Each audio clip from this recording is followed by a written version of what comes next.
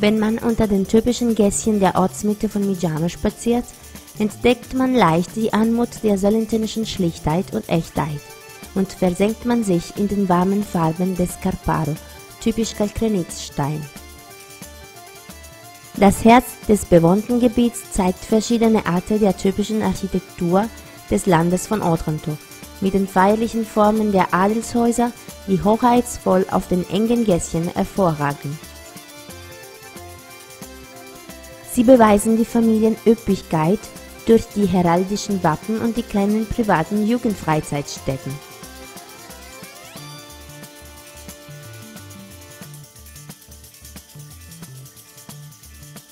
Im Herzen der Stadt bemerkenswert ist das glatte Bossenwerk, das die alten Portale umrahmt, die nach dem Geschmack aus dem 17. Jahrhundert gehauen wurden. Das Volksbauwesen ist dem Besucher auf dem typischen Casa Corte gut sichtbar. Das heißt typische Gruppe von ländlichen Häusern, die um eine gemeinsame freie Fläche aufgestellt werden.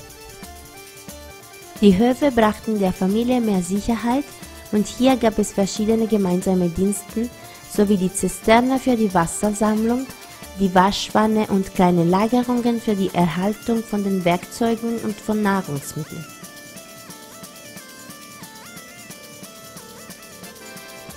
Im Herzen des bewohnten Gebiets findet man das kleine Oratorium Heiliges Oronzio, Beweis der schlichten religiösen Devotion der Gemeinschaft von Mijano.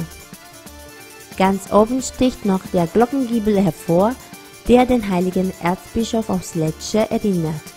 In der Vergangenheit wurde er gegen die Infektionskrankheiten angepflegt. Auf der Platz des Rathauses steht die Säule des Schutzpatrons heiligen Vinzenz von Valencia, die im Jahr 1772 von den Einwohnern von Mijano errichtet wurde.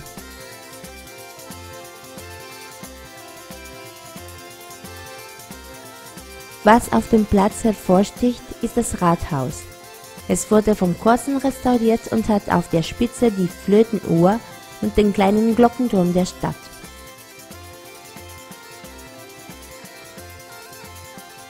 Im Inneren des Gebäudes können die Besucher sich dem touristischen Infopoint der Gemeinde von Mijano zuwenden und eine Führung in der schönen Ortsmitte reservieren.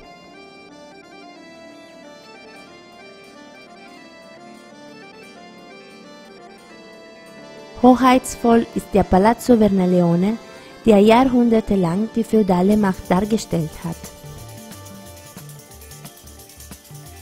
Das Gebäude stammt aus dem 16. Jahrhundert, obwohl es im Laufe der Jahrhunderte mehrmals verändert wurde, bis es völlig die alte militärische Physiognomie verlor. Wenn man Richtung Heilige Barbara Straße weitergeht, findet man den schönen Stadtpark der mit der Adelsvilla Episcopo angrenzend ist. Auf einer Fläche von einem Hektar erstreckt sich die erlesene an Steineichen reiche Grünfläche von der Gemeinschaft von Mijano. Hier treffen sich die Jugendlichen und die Familie der Ortschaft. Der Park bietet dem Besucher verschiedene Tätigkeiten, Unterhaltungen und sportliche Aktivitäten.